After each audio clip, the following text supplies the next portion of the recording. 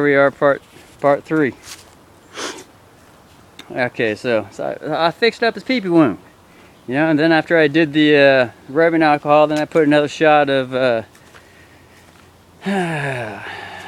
whatever that stuff's called, hydrogen peroxide, shoved it up in there, and then I took the uh, the uh, squeeze the squeeze tube of the uh, triple antibiotic, and I shoved it next to the wound, and it went in there, and as soon as I took it out, the stuff came out.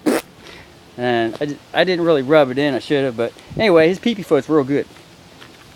That, that always takes care of it. This ain't the first pee-pee wound, because he gets bit at least once a year. so far has been his history. He gets bit about once a year by the local cat down the neighbor called Milky Cat. Used to be Sherman's cat. he died of epilepsy and all that. Sold the property and some uh, good woman's living there. And uh, he left his, his uh, cat behind, so she's taking care of him. But Milky don't play around. One thing about Milky, she don't take no shit. She's female. And she bites Peepee's, Peepee's leg. Peepee tries to throw her down on some hoof. She'll bite Peepee's leg in a heartbeat, put a hole in it. And, I, and all the other years, I've always taken care of his foot for him. But this year, I decided I wanted to let him know what it's like to live out in the wild so he doesn't create fights anymore. You know, being all territorial and all that shit, you, you want to at least let the cats pass by through the territory you know. And I'll be the deciding factor whether or not that cat's going to stay here. Let the cats pass through. They can pass through. Just like the, the, the law, the legal codes in uh, Wyoming, I think it is. If you got property, they got horseback trails through your, that they, the horse can travel through your property. Pass through rights, what's called passing through. The earth is everyone's.